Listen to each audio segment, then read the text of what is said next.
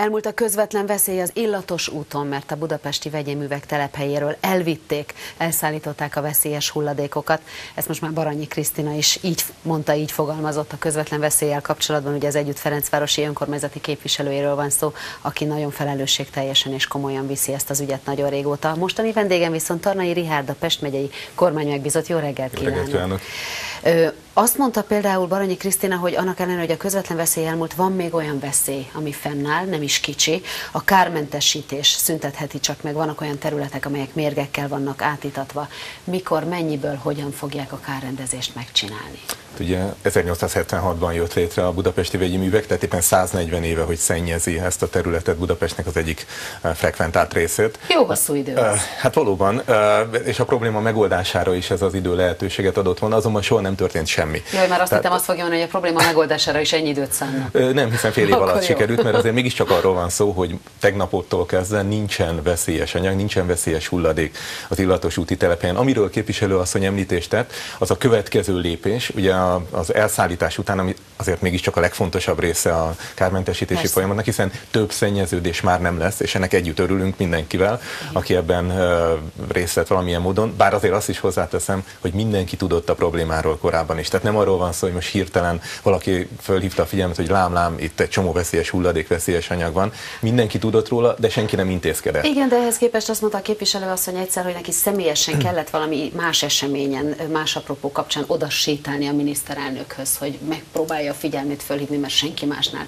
nem ért el semmilyen eredményt, hogy óriási akut problémáról van és akkor sikerült valamit elérni. 2015 április 1-én történt egy nagy változás, amit talán a kedves nézők számára nem olyan jelentős, vagy nem tűnt olyan jelentősnek, ez a, közigaz, a közigazgatás átalakításának következő lépése volt, ami alapján a vezetői létszám felére csökkent, és például a környezetvédelmi terület is integrálódott a kormányhivatalba. Tehát létrejött egy olyan ütőképes, hatékony szervezet, most már valóban, amelyik egy ilyen feladatot alig több mint fél év alatt meg tudott oldani. Tehát korábban lehet, hogy szándék volt évtizedeken keresztül ilyen-olyan kormányzatokban, de nem volt meg az, a, az az eszköz, az a szervezeti, szerkezeti háttér, amivel ezt meg lehetett volna lépni. Április 1-én ez megtörtént, és április 30-án kigördült az első uh, hordókat szállító teherautó a területről, tehát a vegyi művek területéről. Úgyhogy azt gondolom, hogy a hatékonyság és a cselekvőképesség, ami hiányzott korábban az államigazgatásból, most reményeim szerint ez a példa is talán mutatja, hogy megvalósult, és elindultunk abba az irányba, hogy a magánszféra,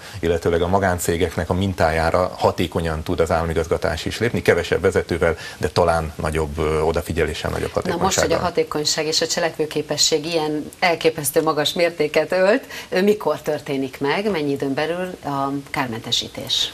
A jogszabály azt írja elő, hogy a tényfeltárás, ez a szakkifejezés a, a környezetvédelmi törvényen, a tényfeltárás időszak a következő. Magyarul eltűntek onnan a szennyező anyagok, és most meg kell nézni, hogy egyébként mi maradt. Tehát 140 év alatt mi került a földbe, mik maradtak azokban a zárt rendszerekben, azokban a csövekben. Most kezdik el megnézni, a... vagy ezek már megvannak ezek a tanulmányok. Van hát, például olyan adat, hogy 6-8 méter mélységig szükséges lehet a talajcsere bizonyos lehet. szerint. Pontosan, ahogy ön idézett, ez pontos, lehet. Tehát nem tippek vannak, találgatások vannak, de hát logikusan, Igen. amíg ott voltak a hordók, addig nem lehetett megvizsgálni a talajt, hiszen ha ott van a szennyezett anyag a területen, magyarul a depókban, illetőleg illetőleg a tároló tartályokban, tároló edényekben, hordókban, hát addig hogy nézzük meg az alatta lévő területet. Most Tehát jön... nem elég 6 méterrel arrébb egy talajminta, itt a konkrét hát nem, mert itt, mert itt nem egyetlen egy talajmintát kell venni, hanem több száz helyen okay. kell talajmintát venni, meg kell nézni a talajvíznek a minőségét. A légszennyezettségi adatok és egyéb adatok tekintetében egyébként a katasztrófavédelem, a fővárosi katasztrófavédelem és a népegészségügy folyamatosan mért. Élés Zoltán uh, katasztrofikus helyzetekről számolt be korábban. Hát Élés Zoltán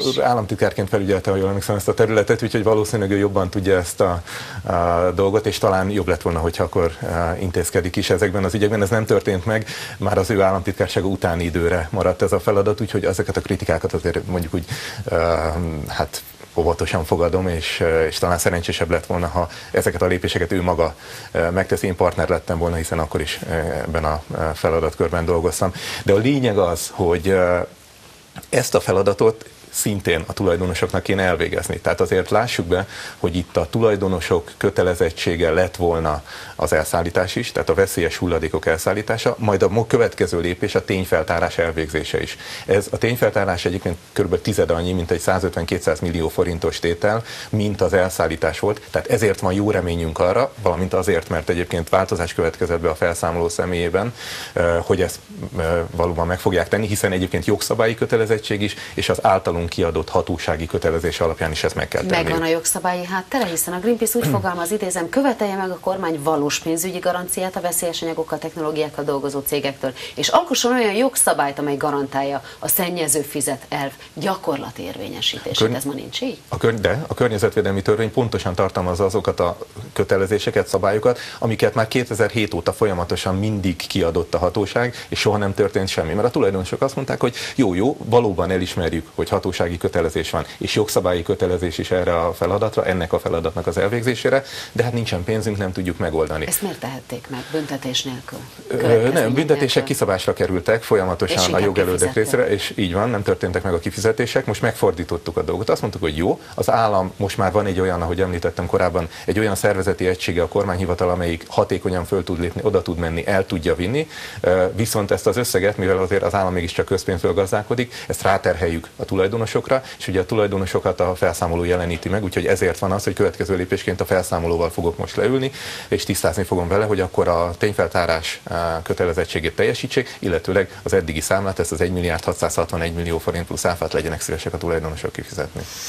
Most már nagyon sokszor elmondta, hogy nem tud konkrét időt mondani, de valami időspektrumot csak tud. Tehát azért ott az embereket ez nagyon-nagyon-nagyon érinti. Mikor történhet meg ez a feltárás és ez a kármentesítés? Mekkora intervallumon belül legalább? Ehhez azt kell tudni, hogy mi van valóban a mhm. földben, mi van a talajvízben, ezt pedig akkor tudjuk megmondani, hogyha az ásásokat elvégeztük, hogyha mintavételek megtörténtek, és nem csak egy helyszínen, hanem végig a BVM ZRT területén. Most már felülszennyezés nincsen. Tehát, tehát azért ez egy nagy dolog, és, és még egyszer ezt szeretném rögzíteni. Azt, hogy jóslásokban eddig sem bocsátkoztam, ugye mm. Baranyi képviselőasszonyal hát már egészen szoros kapcsolat kapcsolatunk van, a tekintetben, hogy állandóan uh, hívott, hogy de mégis mikor, mikor visszük el a hordokat, mikor szűnik meg a szennyeződés. Kértem, hogy, hogy türelemmel legyen, uh, ha karácsonyi ajándéként nem is, de utána, hát valóban január 6-án tegnap ez meg is történt, uh, és bekövetkezett. Uh, erre való hivatkozással kérem most is az, hogy türelem. Uh, ennek a munkának az elvégzése egy szakmai kérdés. Nekem az volt a feladatom, hogy egy szervezetet irányítva vitessük el és vigyük el a hordókat, és azok megsemmisítése történjen meg. Uh, nem tetszelegnék abban a szerepben, hogy környezetvédelmi mérnök vagyok, és pontosan tudom, hogy hány nap alatt fog ez megtörténni. Egyébként ahány mérnök, környezetvédelmi mérnök, annyi, annyi féle vélemény van. Történjenek meg a mintavételek, legyenek konkrét adatok, és akkor tudjuk megmondani, hogy ez körülbelül mennyi idő alatt lehet lebonyolítani. Azt mondta, hogy a légszennyezettség és a vízszennyezettség mértékét folyamatosan monitorozzák. Így van, így van. A, a tegnapi bejáráskor is éppen lehetett látni, hogy két gépjármű ott állt a szélcsatornában, tehát folyamatosan nézzük, és egészségügyi határértéket meghaladó adatok nincsenek. Megjegyzem, én is Kispesten lakom, tehát nem messze ettől a területtől. A bűzt évtizedeken át folyamatosan éreztük, hál' Istennek most már az utóbbi napokban ezt nem lehetett érezni. Tehát az emberek pontosan tudják, hogy ott nem csak ez a gyárterület található, nem csak a BVM ZRT, hanem van még egyéb vegyi anyaggal, nem mérgező vegyi anyaggal foglalkozó üzem, amelyek egyébként sajnos valóban bűzt árasztanak. Van fehérje feldolgozó üzem, tehát ez mégiscsak egy ipari terület. Szennyező, egészségre kár, kártékony anyag kibocsátását végző szervezeti egység már nincsen, és nincsen ilyen anyag sem a BVMZ-ért. Visszatérve erre a jogszabályi környezetre, mi az akkor, amit a Greenpeace számon kér az a jogszabály, amely a szennyező fizetelvét ma nem garantálja, de jobban garantálhatná? De hiszen garantálja, hát éppen ezen jogszabályok alapján tudtunk intézkedni. Tehát éppen azért tudtunk intézkedni, mert a környezetvédelmi törvény 102. a szakasza alapján, hogyha valaki szennyező tevékenységet folytat, ami közvetlenül környezetkárosítás veszélyével jár, akkor intézkedhet a hatóság. Csak ezt nem tette korábban senki, illetőleg ez a jogszabályi hely valóban korábban nem volt meg. De megvolt, és tudtunk lépni. A második lépcsőben, amikor az összes anyagot elszállítottuk, megjegyzem egyébként két hónapon belül a nem szennyező hulladékok, tehát ez 200 köbméternyi nem szennyező hulladék is el lesz szállítva, ami egyébként nem része a történetnek, és, és nem kéne, de mégis ezt meg fogjuk tenni. Tehát volt rá lehetőség, ezt szeretném hangsúlyozni, és benne van a hatályos jogszabályokban. Hát ha nem lett volna, akkor nem tudtunk volna lépni, és nem tudtuk volna kipucolni az illatos úti veszélyes hulladékot. Úgyhogy Értem. meg kellene kérdezni konkrétan, mire gondoltak. Meg, meg van a honlapjukon. A agglomerációs közlekedés helyzetéről nem az ön asztala ugyan, de mégis hadd kérdezzem, lesz-e egyeztetés a kormány, amit tudunk bármit, részletet biztosat? Ugye én is főpolgármester úr nyilatkozatát hallottam, amely az agglomerációs közlekedésre vonatkozik.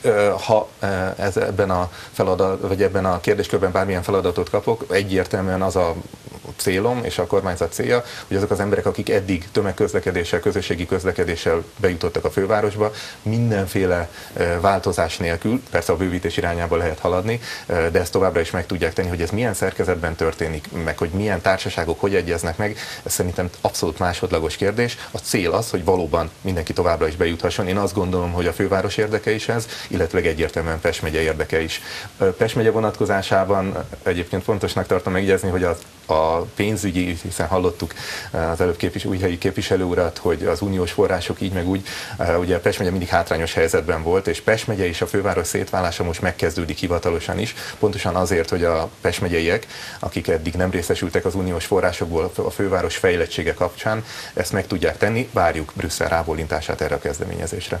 Köszönöm szépen, hogy mindezt elmondtál. Köszönöm szépen én is.